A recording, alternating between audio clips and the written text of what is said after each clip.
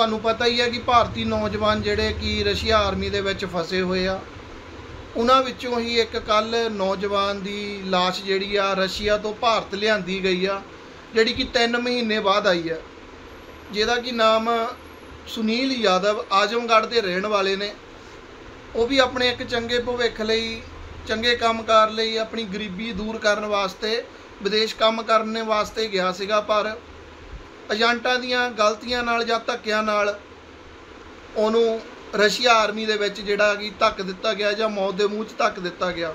ਉਹਨਾਂ ਵਿੱਚੋਂ ਹੀ ਇੱਕ ਬ੍ਰਦਰ ਮੇਰਾ, ਮਨਦੀਪ ਕੁਮਾਰ ਬ੍ਰਦਰ ਮੇਰਾ, ਉਹ ਵੀ ਜਨਵਰੀ ਦਾ ਉੱਥੇ ਫਸਿਆ ਹੋਇਆ, ਜਿਹਦੇ ਨਾਲ ਸਾਡੀ 3 ਮਾਰਚ ਦੀ ਗੱਲ ਹੋਈ ਆ, ਉਸ ਤੋਂ ਬਾਅਦ ਅੱਜ ਤੱਕ ਲੈ ਕੇ ਗੱਲ ਨਹੀਂ ਹੋਈ।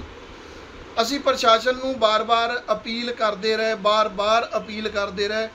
ਜਿਹੜੇ ਕਿ ਮਿਨਿਸਟਰ ਆਪਣੇ ਕਦੀ ਕਿਸੇ ਕੋ, ਕਦੀ ਕਿਸੇ ਕੋ, ਪਰ ਸਾਡੀ ਕਿਸੇ ਨੇ ਬਾਹ ਨਹੀਂ ਫੜੀ। ਲਾਸਟ ਵਿੱਚ ਜਿਹੜੇ ਅਸੀਂ ਸੰਤ ਸਿੱਚੇਵਾਲ ਜੀ ਬਾਰੇ ਸਾਨੂੰ ਕਿਸੇ ਨੇ ਦੱਸਿਆ ਸੀ, ਉਹਨਾਂ ਕੋਲ ਗਏ। ਉਹ ਸਾਡੇ ਲੈਟਰ ਲੈ ਕੇ ਵਿਦੇਸ਼ ਮੰਤਰਾਲੇ ਦੇ ਕੋਲ ਗਏ। ਜੈ ਸ਼ੰਕਰ ਜੀ ਕੋਲ, ਸ਼੍ਰੀ ਨਰਿੰਦਰ ਮੋਦੀ ਆਪਣੇ ਪ੍ਰਧਾਨ ਮੰਤਰੀ ਸਾਹਿਬ ਜੀ ਕੋ ਗਏ।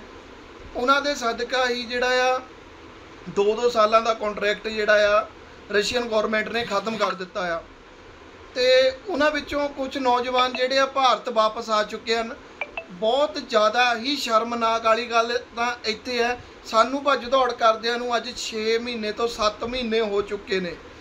ਪਰ ਉਹ ਜਿਹੜੇ ਬੱਚੇ ਵਾਪਸ ਆਏ ਜਾਂ ਮੁੰਡੇ ਵਾਪਸ ਆਏ ਨੇ, ਉਹਨਾਂ ਨੇ ਸਾਡੇ ਨਾਲ ਕੰਟੈਕਟ ਨਹੀਂ ਕੀਤਾ ਜਾਂ ਮੀਡੀਆ ਨਾਲ ਕੰਟੈਕਟ ਨਹੀਂ ਕੀਤਾ ਜਾਂ ਦੱਸਣ ਦੀ ਕੋਸ਼ਿਸ਼ ਨਹੀਂ ਕੀਤੀ, ਉੱਥੇ ਕਿੰਨੇ ਨੌਜਵਾਨ ਫਸੇ ਹੋਏ ਆ ਜਾਂ ਕਿੱਦਾਂ ਦੇ ਉੱਥੇ ਹਾਲਾਤ ਨੇ, ਕਿਸੇ ਵੀ ਬੰਦੇ ਨੇ ਇੱਕ ਵੀ ਮੀਡੀਆ ਮੋਰੇ ਆ ਕੇ ਬਿਆਨ ਨਹੀਂ ਕੀਤਾ। ਜਦੋਂ ਇਹ ਉੱਥੇ ਫਸੇ ਸੀ, ਉਦੋਂ ਇੱਕ ਦੂਜੇ ਦਾ ਦੁੱਖ ਸਮਝਦੇ ਸੀ ਤੇ ਇੱਕ ਦੂਜੇ ਦੇ ਭਰਾ ਬਣੇ ਹੋਏ ਸੀ। ਹੁਣ ਜਦੋਂ ਇਹ ਇੰਡੀਆ ਵਾਪਸ ਆ ਗਏ, ਉਹਨਾਂ ਨੂੰ ਉੱਥੇ ਛੱਡ ਕੇ ਹੁਣ ਕਿਸੇ ਨੇ ਫੋਨ ਤੱਕ ਨਹੀਂ ਚੱਕਦੇ। ਮੇਰੇ ਕੋਲ ਕਈਆਂ ਦੇ ਨੰਬਰ ਹੈਗੇ ਆ, ਜਿਹੜੇ ਆਪਣੀ ਮਰਜ਼ੀ ਦੇ ਨਾਲ, ਆਪਣੀ ਮਰਜ਼ੀ ਦੇ ਨਾਲ ਉੱਥੇ ਗਏ ਤੇ ਐਸ਼ੋ ਆਰਾਮ ਦੀ ਜ਼ਿੰਦਗੀ ਉੱਥੇ ਵੀ ਜੀ ਕੇ ਆਏ ਫੋਟੋਆਂ ਵਗੈਰਾ ਪਾਉਂਦੇ ਰਹੇ ਸਨੈਪਚੈਟ ਪਾਉਂਦੇ ਰਹੇ। ਉਹਨਾਂ ਨੂੰ ਸ਼ਰਮ ਆਉਣੀ ਚਾਹੀਦੀ ਆ। ਐਨੀ ਕਿ ਵੀ ਉੱਥੇ ਜਿਹੜੇ ਫਸੇ ਹੋਏ ਭਰਾ ਪੰਜਾਬੀ ਤੁਹਾਡੇ ਘੱਟੋ ਘੱਟ ਉਹਨਾਂ ਦਾ ਤੁਸੀਂ ਸਾਥ ਦੇ ਦਿਓ ਮਾੜਾ ਮੋਟਾ। ਪਰ ਕਿਸੇ ਦੇ ਵੀ ਕੰਨ ਤੇ ਜੂ ਨਹੀਂ ਸਰ ਕੀ ਅੱਜ ਘੱਟੋ ਘੱਟ 20 ਦਿਨ ਜਾਂ ਮਹੀਨਾ ਹੋ ਚੱਲਿਆ ਵਾ। ਕਿਸੇ ਨੇ ਇੱਕ ਛੋਟਾ ਜਿਹਾ ਬਿਆਨ ਵੀ ਜਾਰੀ ਨਹੀਂ ਕੀਤਾ ਵੀ ਉੱਥੇ ਕਿੰਨੇ ਨੌਜਵਾਨ ਹੋਰ ਜਿਹੜੇ ਪੰਜਾਬੀ ਫਸੇ ਹੋਏ ਆ ਜਾਂ ਕਿਸ ਹਾਲਾਤਾਂ ਦੇ ਵਿੱਚ ਰਹਿ ਰਹੇ ਆ। ਹੁਣ ਮੈਂ ਸੰਤ ਸਿੱਚੇਵਾਲ ਜੀ ਦਾ ਬਹੁਤ ਬਹੁਤ ਧੰਨਵਾਦ। ਫਿਰ ਦੁਬਾਰਾ ਕਰੂੰਗਾ, ਕਿਉਂਕਿ ਸਾਡੀ ਜਿਹੜੀ ਗੱਲ ਆ, ਉਨੀ ਅੱਗੇ ਤੋਰੀ ਆ ਤੇ ਸਾਨੂੰ ਅੱਗੇ ਵੀ ਆਸ ਆ ਉਹਨਾਂ ਤੋਂ ਵੀ ਸਾਡੀ ਜਿਹੜੀ ਗੱਲਬਾਤ ਆ ਸਾਰੀ ਉਹ ਅੱਗੇ ਵੀ ਕਰਨਗੇ। ਹੁਣ ਜਿੱਥੇ ਤੱਕ ਸਾਨੂੰ ਸੁਣਨ ਚ ਆਇਆ ਹੋਇਆ ਵਾ ਵੀ 10 ਤੋਂ 16 ਨੌਜਵਾਨ ਜਿਹੜੇ ਆ ਰਸ਼ੀਅਨ ਆਰਮੀ ਦੇ ਵਿੱਚ ਮਿਸਿੰਗ ਆ। ਜਿਨ੍ਹਾਂ ਵਿੱਚ ਮੇਰੇ ਬ੍ਰਦਰ ਦਾ ਨਾਮ ਵੀ ਆ ਕੁਝ ਬੰਦੇ ਆਜਮਗੜ੍ਹ ਦੇ ਆ ਕੁਝ ਬਾਹਰਲੇ ਆ। ਜਿਨ੍ਹਾਂ ਚੋਂ ਟੋਟਲ ਮਿਲਾ ਕੇ 16 ਜਾਣੇ ਜਾਂ ਅ, 16 ਜਾਣਿਆਂ ਦੀ ਗਿਣਤੀ ਹੈਗੀ ਜਿਹੜੇ ਮਿਸਿੰਗ ਆ। ਮੈਂ ਸੈਂਟਰ ਗਵਰਨਮੈਂਟ ਸ਼੍ਰੀ ਨਰਿੰਦਰ ਮੋਦੀ ਜੀ ਨੂੰ ਹੱਥ ਜੋੜ ਕੇ ਅਪੀਲ ਕਰਨਾ ਚਾਹੂੰਗਾ ਕਿ ਸਾਡੀ ਜਿਹੜੀ ਆਸ ਆ ਉਹ ਤੁਹਾਡੇ ਨਾਲ ਤੁਹਾਡੇ ਨਾਲ ਹੀ ਚੱਲਦੀ ਪਈ ਆ।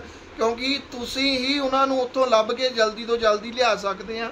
ਜੇ ਤੁਸੀਂ ਚਾਹੋ ਤਾਂ ਇੱਕ ਦਿਨ ਜਾਂ ਦੋ ਦਿਨ ਚ ਉਹ ਜਿਹੜੇ ਮਿਸਿੰਗ ਹੋਏ ਬੰਦੇ ਉੱਥੋਂ ਕੱਢ ਕੇ ਲਿਆ ਸਕਦੇ ਆ।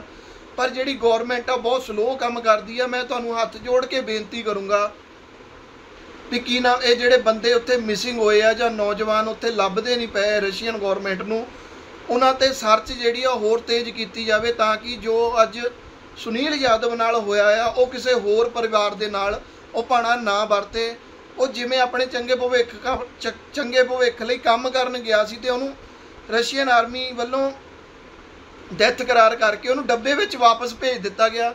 ਮੈਂ ਇਸੇ ਇਹ ਉਮੀਦ ਨਹੀਂ ਚਾਹੁੰਦਾ ਜਾਂ ਇਹ ਇਹ ਸਾਨੂੰ ਇਸ ਜਿਹੜੀ ਗੱਲਾਂ ਤੋਂ ਬਹੁਤ ਡਰ ਲੱਗਦਾ ਪਿਆ। ਮੈਂ ਇਸ ਕਰਕੇ ਸ਼੍ਰੀ ਨਰਿੰਦਰ ਮੋਦੀ ਜੀ ਨੂੰ ਹੱਥ ਜੋੜ ਕੇ ਬੇਨਤੀ ਕਰੂੰਗਾ ਕਿ ਜਿੰਨੇ ਵੀ ਨੌਜਵਾਨ ਉੱਥੇ ਮਿਸ ਹੋਏ ਆ ਜਾਂ ਲਾਪਤਾ ਨੇ ਉਹਨਾਂ ਦੀ ਛੇਤੀ ਤੋਂ ਛੇਤੀ ਭਾਲ ਕਰਕੇ ਉਹਨਾਂ ਨੂੰ ਭਾਰਤ ਵਾਪਸ ਭੇਜਿਆ ਜਾਵੇ ਤਾਂ ਕਿ ਸਾਰੇ ਪਰਿਵਾਰ ਪਰਿਵਾਰਾਂ ਦੇ ਵਿੱਚ ਆ ਕੇ ਬੰਦੇ ਆਪਣੇ ਰਹਿਣ।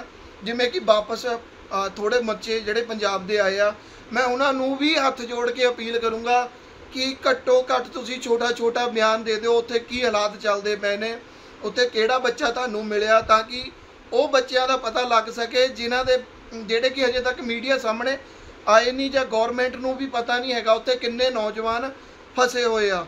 ਮੈਂ ਸਾਰਿਆਂ ਨੂੰ ਫੇਰ ਹੱਥ ਜੋੜ ਕੇ ਅਪੀਲ ਕਰੂੰਗਾ, ਜਿੰਨੇ ਵੀ ਨੌਜਵਾਨ ਵਾਪਸ ਭਾਰਤ ਵਾਪਸ ਆਏ ਆ, ਉਹਨਾਂ ਨੂੰ ਹੱਥ ਜੋੜ ਕੇ ਬੇਨਤੀ ਕਰੂੰਗਾ ਕਿ ਤੁਸੀਂ ਮੀਡੀਆ ਅੱਗੇ ਆ ਕੇ ਜਾਂ ਆਪਣੀ ਫੇਸਬੁੱਕ ਤੋਂ ਲਾਈਵ ਹੋ ਕੇ ਘੱਟੋ ਘੱਟ ਛੋਟਾ ਛੋਟਾ ਬਿਆਨ ਹੀ ਦੇ ਦਿਓ ਵੀ ਜਿਹੜੇ ਉੱਥੇ ਬੱਚੇ ਲਾਪਤਾ ਹੋਏ ਨੇ, ਸ਼ਾਇਦ ਉਹਨਾਂ ਚੋਂ ਕੋਈ ਨਾ ਕੋਈ ਮਿਲ ਜਾਵੇ ਜਾਂ ਲੱਭ ਜਾਵੇ। ਜੇ ਤੁਹਾਨੂੰ ਕੁਝ ਪਤਾ ਆ ਤਾਂ।